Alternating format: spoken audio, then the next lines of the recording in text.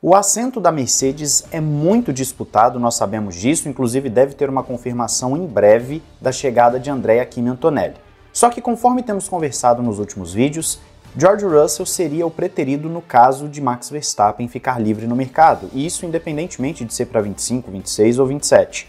Claro que as coisas podem mudar até lá, mas falando hoje, na análise de hoje, George Russell poderia ser o preterido. Então, no vídeo de hoje, nós vamos conversar sobre algo que, inclusive, temos três matérias aí na descrição para dar essa base para o que vamos falar aqui, e terá uma lógica parecida com aquele vídeo em que falamos do Hamilton chegar na Ferrari como o líder da equipe. Nós vamos pegar a mesma lógica aplicada àquele vídeo e colocar aqui para a situação da Mercedes e do porquê George Russell hoje talvez não tenha tanta confiança assim da equipe Mercedes no trabalho dele.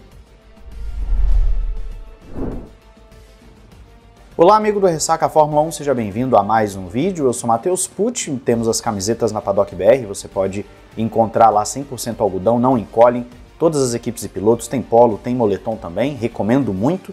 Cupom Ressaca F1 para desconto e frete grátis e você tem também jogos e gift cards lá na Instant Gaming, Xbox, PC, PlayStation, você tem chave do Windows, tem Game Pass, enfim, uma série de coisas lá entra pelo link na descrição. Vamos falar então de Mercedes. O primeiro ponto de todos é o seguinte: como bem sabemos, Antonelli não vai para a Williams para o ano que vem, porque a Williams já está fechada com Sainz e Albon.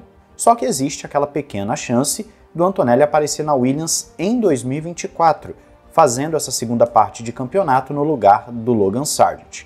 O James Valles veio a público falar que não, isso não vai acontecer e que o Sargent merece ainda ter esse período na equipe, essa segunda parte na equipe. Mas é claro que na Fórmula 1 nós sabemos que muitas vezes o que vai para a imprensa é uma coisa e o que os chefes de equipe querem dizer na verdade lá internamente é outra.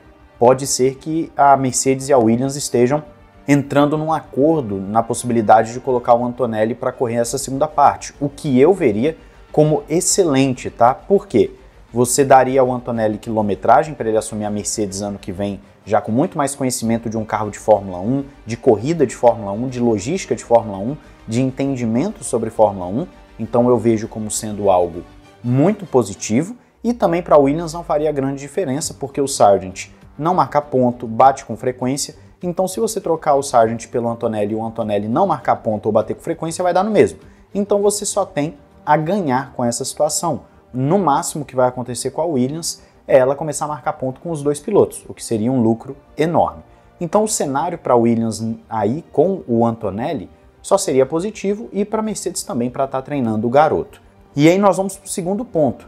Já tem as reportagens falando que o Antonelli deve ser anunciado em breve, indo contra o que o Wolff falou há algum tempo, né, algumas vezes inclusive, de que esperaria um Max Verstappen até novembro, o que pode me indicar o seguinte, que o Wolff pode estar mesmo negociando com a Williams para ter o Antonelli já no segundo semestre andando aí pela equipe para estar tá ganhando quilometragem. Eu não vejo isso como sendo improvável não, até porque nós vimos que foi liberado né, a superlicença do Antonelli com antecedência, então o Wolff já tem esse interesse em colocar o Antonelli para correr. Se vai acontecer ou não é outra história, depende também ali do que o pessoal da Williams vai falar, patrocinadores, etc. Você tem uma série de fatores aí. E o Sargent tem também o apoio aí de Estados Unidos, ainda temos duas corridas nos Estados Unidos esse ano, enfim, tem muita coisa para acontecer. Só que o ponto principal aqui passa pelo seguinte: se a vaga na Williams está fechada, isso significa que o Antonelli se torna a principal opção para a Mercedes em 2025 ainda mais que o Verstappen tem reiterado a sua vontade de continuar na Red Bull. E eu trouxe vídeo aqui, inclusive ontem, para vocês falando que o Verstappen está olhando para a Mercedes somente para 2026 em diante, mas ele está sim mantendo a Mercedes em aberto. E aí entra em tudo aquilo que nós já falamos sobre George Russell e tal, só que a grande questão é: se a Mercedes está atrás do Verstappen e não do Antonelli, que é o grande prodígio da base no momento, isso significa que eles não confiam no George Russell para poder liderar a equipe. E é por isso que eu disse que esse vídeo vai se assemelhar muito ao que foi do Hamilton com o Leclerc lá na Ferrari. Se o Leclerc fosse um líder nato, não seria necessária a chegada de um Hamilton. E a Ferrari deve estar enxergando isso. No caso da Mercedes, me parece um cenário muito parecido. A equipe prateada não confia necessariamente que George Russell consiga liderar a equipe, até porque, por mais que o Russell esteja à frente de Hamilton em várias estatísticas nesse confronto direto aí dos últimos três anos, nas últimas provas Hamilton tem começado a andar junto ou até melhor. É claro, temos ali o abandono do Russell na Bélgica, que eu já trouxe vídeo aqui falando que a performance que ele ganhou não justifica a, a, a desclassificação em termos de desempenho puro, vai ser justificado pelo regulamento técnico, mas pelo desempenho puro não foi o que fez ele vencer a corrida, ele venceu por méritos dele, da estratégia dele, pelo ritmo dele, não impactou tanto assim. Eu expliquei lá no vídeo que aquela diferença não foi já desde o início da corrida, essa diferença de performance começou a partir do momento da segunda rodada de pitstops, então já é do meio para o final da corrida. O Russell está demonstrando contra um heptacampeão que está crescendo uma performance muito boa, uma performance para a Mercedes falar, beleza, podemos confiar nesse cara. Só que isso ainda não é o suficiente. Por quê? George Russell tem tido essas performances desde 2022. Se você pegar 22 e 23, ele também teve seus momentos em que dominava o Hamilton. Inclusive em 22 só ele vence corrida, né? Em 23 você tem o Russell também andando muito bem à frente do Hamilton em alguns momentos. E agora em 24 isso vai se repetindo. No geral, eles são muito equilibrados, o que é até surpreendente. Só que sempre fica a dúvida: se o carro da Mercedes melhorar, será que o Hamilton não vai crescer junto? E é o que nós estamos vendo ao longo de 2024. O carro da Mercedes começou a melhorar, o Hamilton foi crescendo junto. Para o Russell também é bom? Claro, mas o Hamilton vai mostrando por que ele é heptacampeão e que ainda está em alto nível. E a saída do Hamilton deixa esse buraco de liderança e experiência na Mercedes. O ideal seria você ter mesmo um piloto experiente para liderar a equipe. O Russell é experiente? É, mas é um piloto que lidera? E é aí que fica a grande questão. A chegada do Antonelli vai deixar uma dupla muito jovem, com pouca experiência lá na frente, porque o Antonelli não correu de Fórmula 1 e o Russell ainda não teve a possibilidade de disputar um título.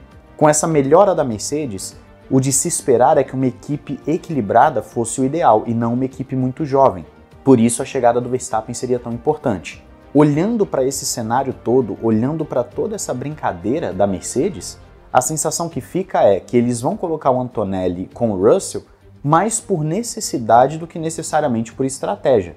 E aí, uma possível chegada do Verstappen posteriormente reequilibraria a equipe com a saída do Russell, já que o Antonelli, mais uma vez devo dizer, é o prodígio atual da base e você dificilmente vai querer abrir mão dele. Ele pode chegar aí como um Piastre, por exemplo, que demonstra uma evolução clara desde a sua primeira temporada, né? desde o ano passado ali fazendo um, uma temporada bem segura e crescendo. Você vê que ele está crescendo, que ele está começando a incomodar o Norris. E é esperado isso também do Antonelli, que o Antonelli ano que vem comece ali cometendo seus erros, comece andando mal, não conhece o carro, não conhece a Fórmula 1, a, toda a dinâmica da Fórmula 1 né, durante uma temporada, e aí no segundo ano já mostre por que é tido como um prodígio.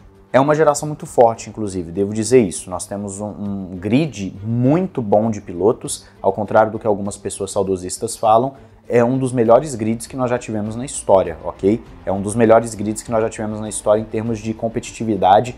Você vai falar de década de 80, 70, mas esquece que mais da metade do grid era bagre. Então a galera também no saudosismo às vezes pega demais. Tinha 30 carros, mas 20 pilotos era, era bagre. Então o cenário de Mercedes e Ferrari me parecem muito parecidos. Me parecem parecidos é ótimo, né? Mas me parecem realmente ter aí os seus pontos em comum em termos de liderança de equipe. Ambas as equipes não confiam nos seus pilotos atuais e gostariam então de ter um líder. A Ferrari conseguiu tirar o Hamilton da Mercedes, até porque a Ferrari apresentava uma performance que justificava isso, e agora a Mercedes tem que suprir essa necessidade do Lewis Hamilton. E aí, para finalizar, a matéria do The Race, lembrando que todas as matérias fontes estarão aí na descrição, coloca justamente isso que eu tenho falado para vocês nos últimos vídeos. Eles colocam o tal cenário. O Antonelli assina pela Mercedes em 2025 e então ele começa a andar ali próximo do George Russell, o que obviamente já começa a chamar a atenção. Max Verstappen então se coloca em posição para 2026 estar no mercado, para ele estar disponível no mercado. Quem que sai com essa brincadeira? Obviamente o George Russell, porque o Antonelli ainda tem potencial de crescimento e é um prodígio, e o Russell não seria tão viável permanecer tendo um Verstappen, trio, tetracampeão, enfim, a gente não sabe, né? Provavelmente vai ganhar esse, esse título desse ano com o prodígio Antonelli. É exatamente o cenário que eu tenho passado para vocês nos últimos vídeos, porque é o cenário lógico. Então, ou o Russell se impõe de vez na Mercedes e ele mostra eu tô aqui para liderar e para ser o cabeça dessa equipe com Antonelli sem Antonelli, ou ele vai ser chutado. É claro que ele não vai ficar muito tempo sem emprego. Um Russell da vida no mercado vai ser contratado. Mas existe essa possibilidade sim dele ser chutado da Mercedes e eu quero saber a sua opinião nessa análise que nós estamos fazendo de circunstância da Mercedes, que é, no momento, o assento mais cobiçado da categoria. Quer dizer, tem o da Red Bull, porque ninguém sabe exatamente o que vai acontecer na Red Bull para o ano que vem, mas é com certeza um dos assentos mais cobiçados da categoria no momento. Quero saber a sua opinião, não esqueça de se inscrever e ativar o sininho para não perder nada aí no Ressaca F1. Um grande abraço, valeu e falou!